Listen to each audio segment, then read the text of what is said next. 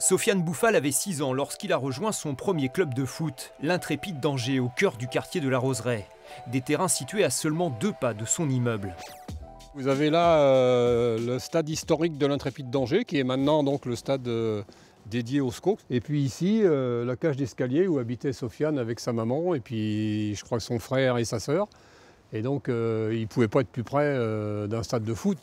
Pour Gilles Laté, son entraîneur de l'époque, Bouffal fait partie de ces joueurs qu'on n'oublie pas. Il joue maintenant comme il jouait à 8 ans, c'est-à-dire euh, prendre la balle, euh, dribbler, euh, tenter de, faire une brèche dans l'équipe adverse. je pense que tous ceux qui vont au stade, ils, aiment voir des joueurs comme ça, hein, des joueurs qui créent, du football.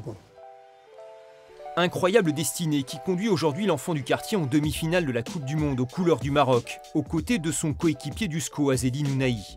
Au sein du club angevin qui a vu évoluer Bouffal depuis 2005, les joueurs gardent les jambes tournées vers le championnat, mais ont évidemment à l'esprit l'exploit réalisé par leurs camarades.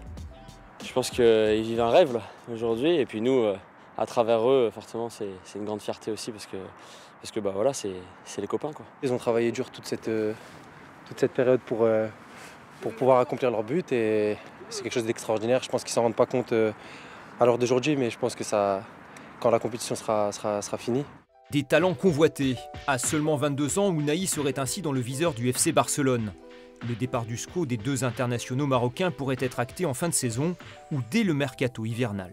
Il y a beaucoup d'agents qui ont montré un intérêt, il y a beaucoup d'équipes importantes qui montrent de l'intérêt. Euh, mais, à ce stade, nous ne pouvons pas dire plus. En attendant d'écrire une nouvelle page de sa carrière, Sofiane Bouffal profite de chaque instant. Un rêve de gosse qu'il partage avec sa mère en dansant sur le terrain du mondial.